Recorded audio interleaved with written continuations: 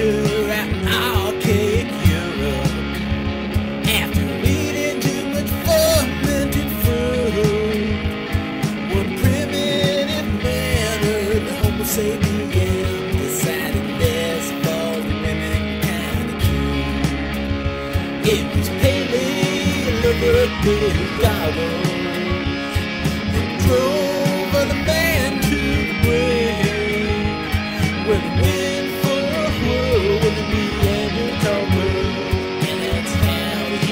Right, this is how our empty cans come in, as you can see. Just literally an empty created can on these sheets here. So what happens is we drag the pallet over to here, lift it up on this contraption, which is called a wallop or something, and then that gets lifted up so that it's level with that platform there. We pull one entire sheet across, which fits perfectly on that platform.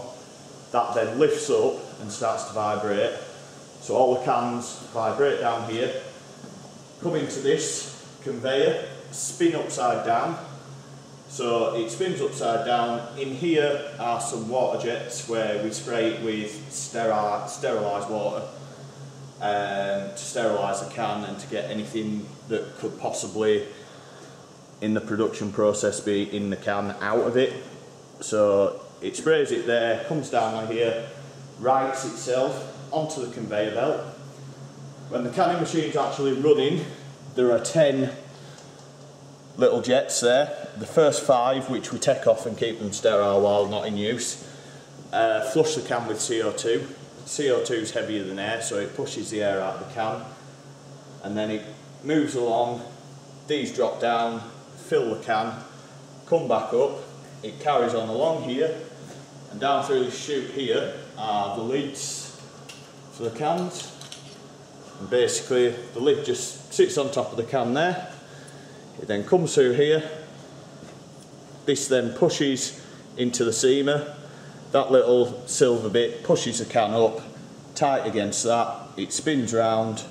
That one there gets underneath it, flushes it again with CO2 so that there's no hope of any air getting in there. That one there clamps on, clamps that round the top of the can and seals it. It then goes round this little back onto the conveyor, comes through here where there's jets of water and two dryers that basically sprays the can, dries it off so it's all neat and tidy. And it congregates on here. The lads who do it then box it up. Um, it all gets boxed up nice and neat, all on pallets ready to be sent out,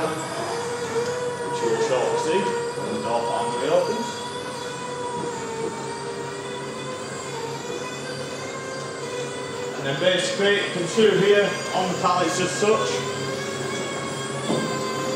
ready to be distributed out to wherever it's going. Fantastic.